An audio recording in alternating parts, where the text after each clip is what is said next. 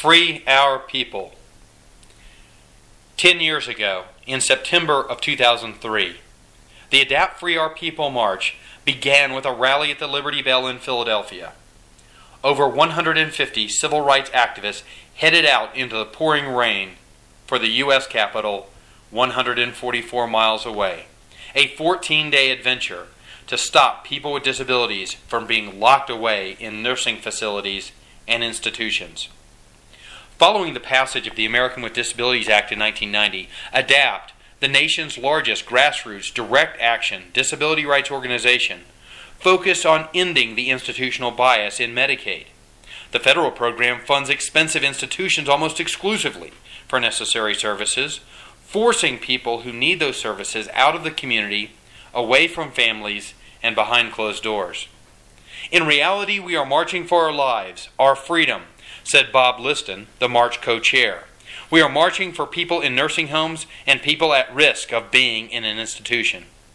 Each day, the group marched between 4 and 16 miles, eating communal meals and sleeping most days in tents, a bunkhouse, a church, and an ice skating rink in Baltimore. The second day was the longest of the march, over 16 miles into Delaware. About 20% of the power chairs just could not make it all the way on the long hilly trek and were picked up by vans along the route where they stopped. On the third day, Vice President Joe Biden, then Senator Biden, joined the marchers at a rally in downtown Wilmington at Rodney Square Park to cheer the group on. The most expensive thing to do is to put people into institutions. To those that say we cannot afford to do this, said Biden, I say we cannot afford not to do this. When my wife and I talk about attendant services, they just see me as a politician. When they see you on this march, they begin to get it and understand. While the line of Free Our People marchers was a visible symbol of the dedication of ADAPT activists to end the institutional bias, it was the individual experiences that demonstrated the great commitment of each person on the march. I was in a nursing home for eight years. I was forced to move in when my parents divorced, said Ken, Ken, Karen Burrison of Philadelphia. I saw people that got married in the nursing home and still had to live in separate rooms. My mother did not understand why I wanted out. She said you get 24 hour care in there and don't have to worry about paying the bills. I said, Mom, I want a life, and you can't have a life in a nursing home. Now that I'm out, I have a home and a family. The personal attendants on the march started early. They had the task every morning of helping each person get up and ready for the march that day. To keep on schedule, the entire group had to be out on the street ready to go by 9 a.m.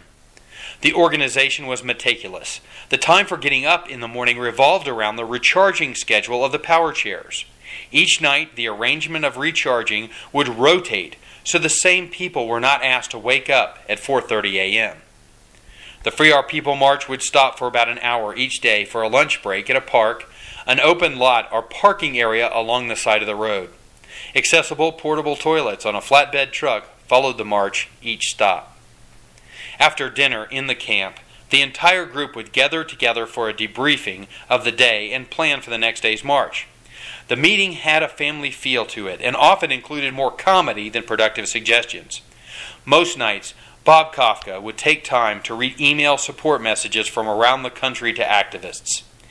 Every night, about 80 power chairs had to be fully recharged for the next day's march. It was an odd sight to look out at a sea of empty power wheelchairs. In Baltimore, the Free Our People March would add another 61 activists to the long line. The reinforcements stayed at a downtown hotel and received an overview of what life would be like on the final leg of the march to Washington, D.C. The plan in the morning was for the two groups to meet in the inner harbor at McKeldin Square, where ADAPT would hold another rally. The main group came into Baltimore, and rather than set up camp, the group would sleep out on a concrete floor of the Patterson Field ice skating rink. The group called it the bubble because the domed roof over the rink. The floor of the bubble was cold and damp. The humidity was high due to the rain. In the morning, ADAPT activists woke up to an eerie fog, lit by soft green lights. As people gradually woke up to get ready to go, the fog slowly melted away and soaked the floor and everything on the floor. Bob Kafka looked over the surreal environment and named it Lake Adapt. Being in a nursing home sucks and I want out, said Linda Merkel at the rally in Baltimore's Inner Harbor. Linda lived in a nursing home and was working with the Maryland Adapt at the time to get back into the community. My son was taken away. I want out. I want my life back, she said. Following the rally, lunch in the square, the Free Our People March snaked through the urban milieu in the pouring rain.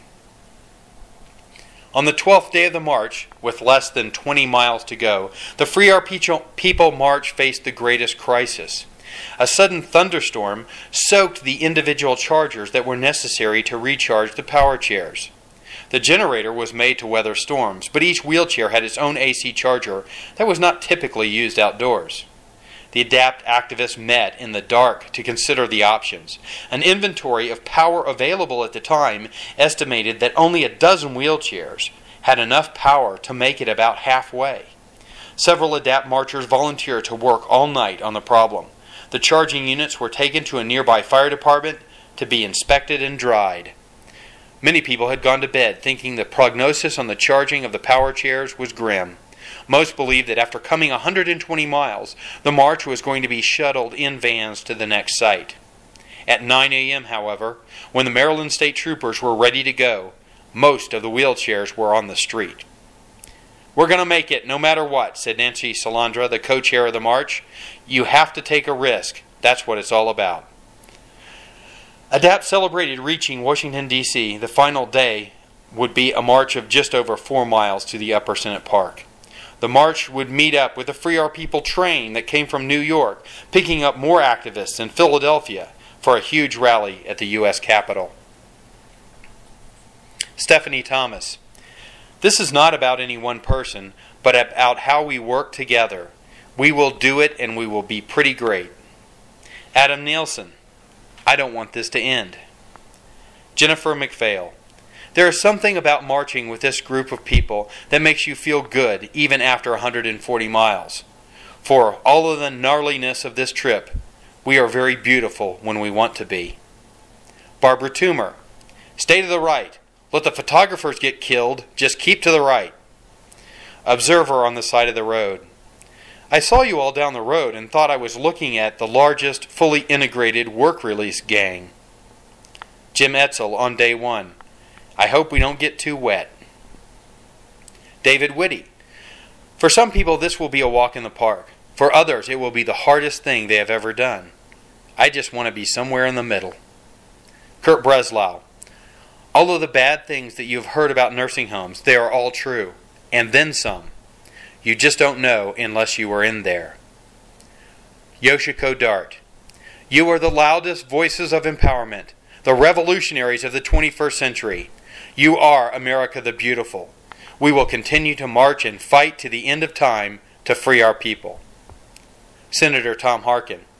The door needs to be open so that people will have choices. It's long past time that people could be in their own homes, not somebody else's nursing home.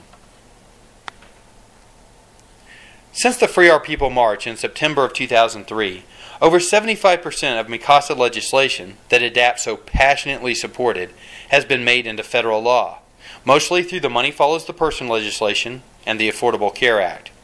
The idea of MICASA is, a, is proven to be effective, but the part that remains to be realized is the end of the institutional bias. Most U.S. states have made some progress to give people more choices to stay in their home, live with their families, and be part of the diverse American community. Expensive nursing homes are a federal Medicaid benefit, while home and community services and supports are optional state programs that can be cut by the state in tough economic times. The loud chants of the Free Our People March are still needed today. ADAPT is working nationally to, com- to completely pass MICASA, now called the Community Choice Act. Your help is needed and your talents are welcome. Do you want to live in a nursing home? Tim Wheat has been an ADAPT member for over 17 years. His role of documenting the national ADAPT actions on the ADAPT website, adapt.org, has positioned him as the chair of the ADAPT History Committee. Tim's photography of civil rights action have created a large disability rights archive of the tremendous dedication of ADAPT activists all over the country. Mr. Wheat has four photographs in the January 2013 issue of The Progressive. I am an ADAPT activist first, said Tim Wheat about his civil rights work. The passion and determination of my brothers and sisters in this movement is the amazing image that I wish everyone could see. Tim Wheat is currently the community organizer for the Center for People with Disabilities in Boulder, Colorado. He began at the Memphis Center for Independent Living in 1996, where he photographed more than 1,700 violations of the Fair Housing Act and was part of one of the largest fair housing complaints concerning accessibility. In 2002, Tim rode his bicycle around the United States to document independent living, creating a web journal called Independence Across America. Tim has worked as a volunteer with the Student Conservation Association in Alaska following the Valdez spill and is a graduate of the University of Alabama.